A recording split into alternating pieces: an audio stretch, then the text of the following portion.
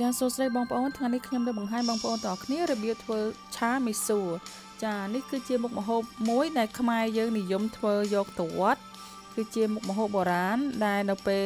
បន់ភ្ជុំម្ដងម្ដងខ្មែរយើងត្រូវតែមានមុខម្ហូបនេះយកទៅវត្តចាហើយនឹងសម្លមីស៊ូ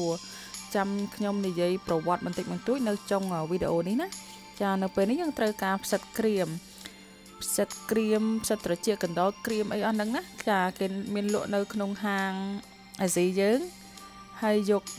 យើងត្រូវយកមកត្រាំទឹកណាចាគេមានអាលៀតគេមានអា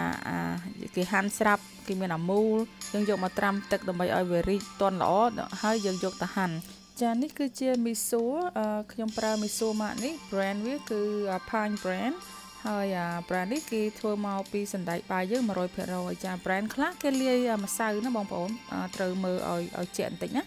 អឺត្រឡប់អឺ កញ្ចប់ហ្នឹងទៅគេប្រាប់ថាវា ingredient ហ្នឹងមានជាតិអីខ្លះយើងមើលទៅយើងយក Visona brand 100%ហើយ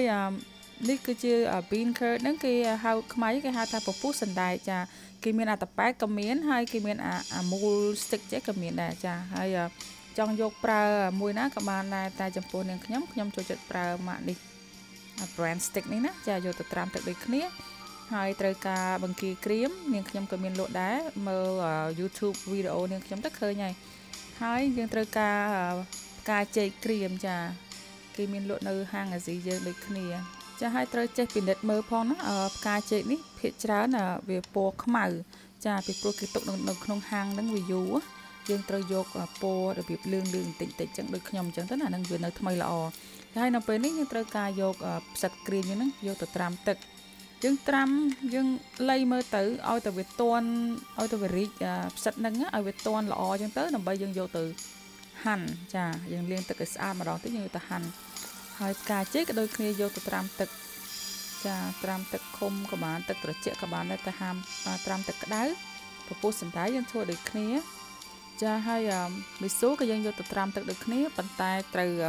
អាននៅលើកញ្ចប់ហ្នឹងគេឲ្យត្រាំទឹកប្រហែលនាទីកុំឲ្យត្រាំទឹកយូរពេកខ្លាចជ្រុលវាវាទន់ពេកណាបងប្អូនយកទៅឆាតឆ្ងាញ់ទេហើយបង្គាក្រៀមក៏យកទៅត្រាំទឹកដូចគ្នាចា whatever I list all the dry ingredients you have to soak in the water okay ហើយយើងត្រូវការ ground pork យើងត្រូវការសាច់ជ្រូក3ចិនយកមកចិញ្ច្រាំក៏បានដែរស្លឹកខ្ទឹមចាហើយយើងធ្វើការលាយទឹកឆានិងទឹកប្រឡាក់ មីសូចាចាហើយយើងត្រូវការតែ3មុខទេនៅពេលនេះអឺទឹកស៊ីអ៊ីវទឹកស៊ីអ៊ីវខាប់អឺគេហៅថា dark soy sauce ហ្នឹងទឹកស៊ីអ៊ីវខាប់ទឹកស៊ីអ៊ីវខ្មៅហ្នឹងបងប្អូនដើម្បីយកពណ៌ហើយនឹងអឺទឹកអឺ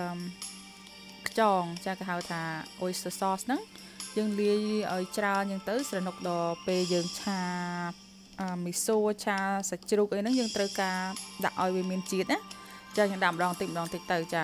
ហើយយើងត្រូវការ chicken flavor soup mix ហ្នឹងគេហៅថាម្សៅស៊ុបមាន់យើងហ្នឹងយើងមិនចាំបាច់ប្រើប៊ីចេងយើងដាក់ហ្នឹងទៅដើម្បីឲ្យវាលើករសជាតិណាចានៅពេលដែលយើងប្រើទឹកស៊ីអ៊ីវបងប្អូនត្រូវការស្ករបន្តិចណាយើងឆាអីដាក់ស្ករបន្តិចទៅឆ្ងាញ់ចាហើយបន្ទាប់មកយើងត្រូវការម្រេចម្រេចហ្នឹងម្រេចសក៏បានម្រេចខ្មៅក៏បានដែរបុកវាឲ្យម៉ត់ទៅយើងលាយជាមួយគ្រឿងទឹកយើងទៅចាយើងទុកមួយឡែកទៅយើងកូរឲ្យទៅវានេះណាវាចូលជាតិគ្នាណា ឲ្យរលាយអស់ចឹងទៅ ចាទុកមួយឡែកចាហើយដល់បន្ទាប់មកយើងត្រូវការយកផ្សិតខ្មៅដែលយើងត្រាំទឹកហ្នឹងយកមកសម្រោះទឹកឲ្យស្ងួត ហើយបាញ់យកទៅហាន់ពពុះសណ្ដែកដូចគ្នាចាយើងកាត់ខ្លីៗចឹងទៅហើយមេសួរយើងយើងត្រូវការកាត់ខ្លីៗដែរកុំឲ្យឆាទាំងវែងអញ្ចឹងវាវែងពេកណាយើងកាត់ខ្លីៗទៅតាមចំណូលចំណងបងប្អូនទៅណាចា នេះកាត់ដូចខ្ញុំចឹងទៅតាមបងប្អូនទេចង់កាត់របៀបអីក៏បានដែរហាន់របៀបអីក៏បានដែរយើងញ៉ាំទៅគ្រួសារយើងទេប៉ុន្តែបើយើងយកទៅវត្តអីយើងធ្វើឲ្យស្អាតត្រឹមត្រូវទៅណាផ្សិតអីយើងហាន់ឲ្យស្អាតចឹងទៅ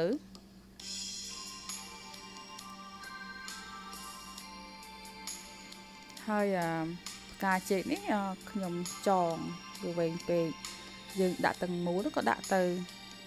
ចាបងស្រីខ្ញុំគាត់ភាកច្រើនគាត់ធ្វើម្ហូបគាត់ចងអញ្ចឹងវាស្អាតមើលទៅស្អាតចាហើយខ្ញុំនឹងបង្ហាញបងប្អូនអរគ្នារបៀបយើងប្រឡាក់មីសូមូលហេតុដែលខ្ញុំធ្វើអញ្ចឹងពីព្រោះខ្ញុំចង់បាន color អឺមីសូខ្ញុំវាពណ៌សបើពេលខ្ញុំអត់លាបពណ៌ប្រឡាក់ទឹកស្អ៊ីវទឹកអីចឹងវាវាស្លេកពេកពណ៌វាស្លេកពេកហហើយម្យ៉ាងទៀតខ្ញុំត្រូវការមីស៊ូខ្ញុំនឹងមានរសជាតិមុនខ្ញុំយកទៅឆាបើសិនជាយើងយកទៅឆាយក មីស៊ូពណ៌សយើងយកទៅឆានៅក្នុងខ្ទះយើងណាយើងដាក់គ្រឿងវាអត់វាអត់សប់ទេបងប្អូនយើងឆាទៅវានៅ